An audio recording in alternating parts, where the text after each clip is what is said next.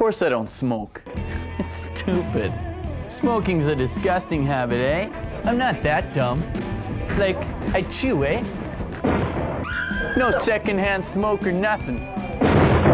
No coughing or hacking. Who wants to be a loser, eh?